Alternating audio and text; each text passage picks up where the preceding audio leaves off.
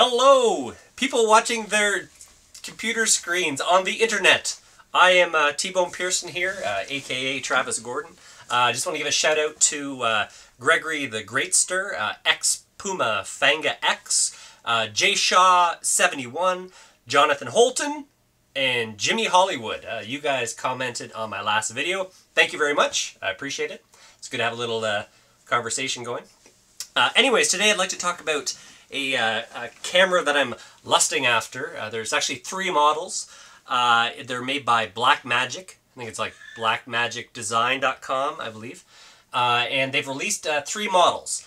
Uh, so the first one is a, it's called a Pocket Cinema camera, and it's around a thousand dollars. Um, then the medium one is the Cinema camera. It's around two thousand, and you get DaVinci Resolve free with that. Uh, so if you don't know what that is, it's a uh, color grading software that they use on Hollywood films. Uh, would love to get my hands on that, if possible. There's a free version. Uh, there's DaVinci Resolve Lite. Uh, on their website, you can download, and just some of the uh, pro features are, I guess, grayed out. But the problem with Resolve, I'll get back to the cameras. The problem with Resolve is you need a really good video card to be able to use this program.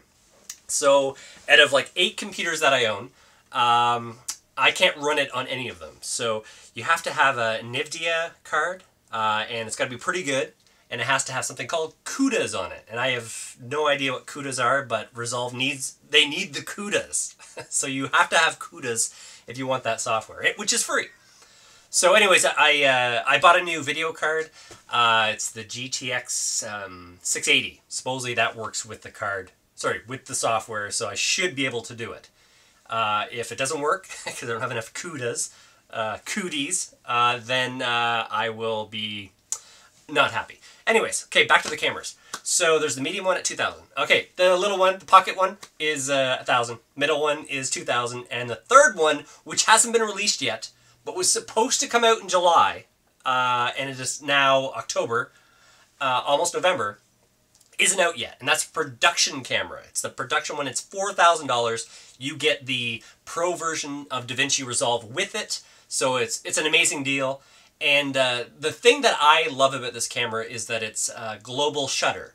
Uh, so without all CMOS sensors, most cameras nowadays have CMOS sensors, and if you jiggle them like this, uh, for instance, I'm filming on a Canon 5D Mark II. If I start doing this, you'll see something called Jello Cam, and it's the whole screen does this. So you guys can test this on your own stuff, but if it's a CMOS sensor, and most like 90% of cameras nowadays are CMOS sensors, uh, you're gonna get the Jello Cam. Um, so on our show Spell Fury, I use a camera that isn't CMOS, isn't a CMOS sensor. It's got CCDs, three of them, three chips, I think. One chip, three, whatever. Three CCDs, I think. Anyways, no Jello Cam, so it's good for action and stuff like that. Uh, but anyways, that's been the curse of video for the, like the last like five, six years is these, the Jello Cam. Finally, finally we're into cameras uh, that we can afford. Like the high-end ones, they don't, they, I'm sure they have global shutter on them, and but you're paying $30,000, $50,000, $100,000. This is, we're talking about $4,000 camera with global shutter, meaning you can go back and forth, and there's no Jello Cam, finally. All right, so uh, now there's another one too that I just want to mention that I've been looking into called the Digital Bolex. I don't think it's out as well. It's going to have global shutter as well, um, but I think it's only a 16 millimeter 16 millimeter sensor or like a 16 millimeter type sensor. Uh, with this $4,000 one coming out from Blackmagic Design, uh, it's a, I think it's super 35 millimeter, so it's like a big sensor on it. Not as big as the Canon 5D Mark II, which I'm using, uh, but still pretty big. Uh, anyway, so I'm excited about the camera. What else am I excited about with this camera? Uh, oh, you can shoot RAW with it, RAW video. So I don't know if you guys are into like Photoshop or anything like that, uh, but shooting RAW video is like amazing. If I would love to get my hands into doing some RAW video, you bring it into DaVinci Resolve, you color grade it, you have professional results, hopefully, if you're good. anyway, so that's the camera that I want to buy. It's not out yet.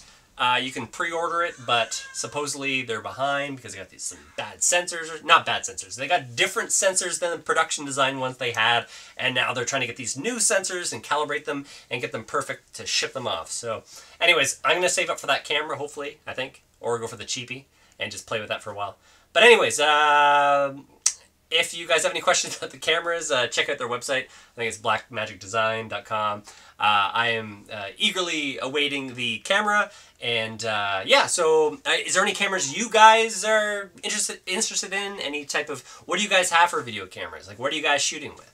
Anyways, let me know. Let's talk about this. I love tech stuff. Uh, so, anyways, cheers, and please comment comment below, and please subscribe and like the video. Right on. Okay, catch you guys later. Bye.